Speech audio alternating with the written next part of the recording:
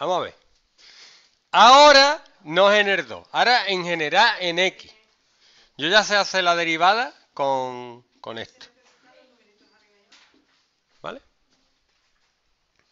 Con las reglas, pero no me vale la regla, tengo que usar eso. Entonces tengo que hacer límite. Cuando h tiende a 0 de f de x más h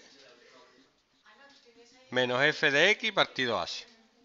Entonces yo, como no tengo vergüenza, límite cuando h tiende a 0 de f de x más h. Es decir, donde pone x pongo x más h.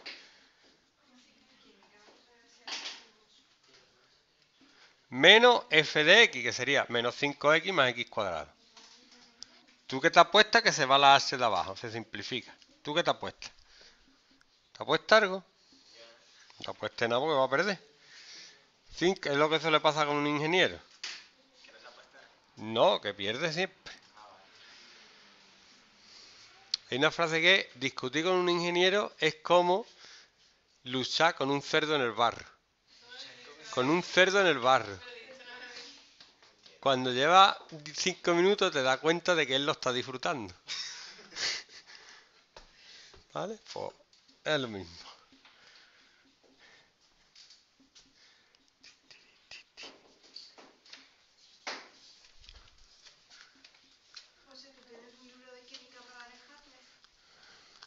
¿De qué curso?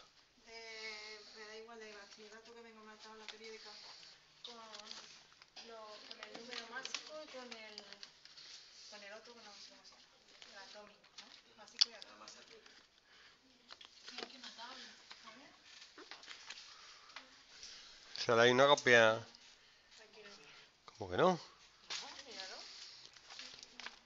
¿Y vienen los dos? Aquí no tengo marcado cuál es cuál. Mira, 5x menos 5x, 0. Aquí abajo y arriba. Queda menos x cuadrado más x cuadrado, 0. Uh. Queda 5h menos h cuadrado.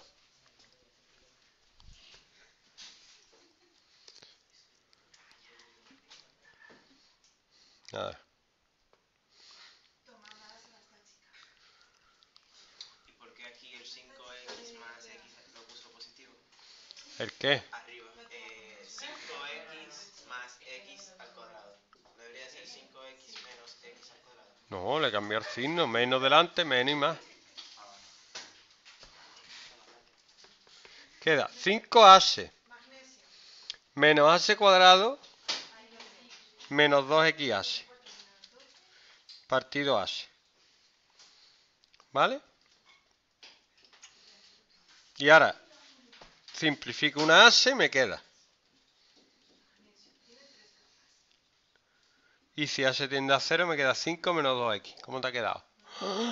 Entonces tú o te aprendes las reglas de derivación o haces esto siempre, ya está. Pero eso lo puedes elegir tú.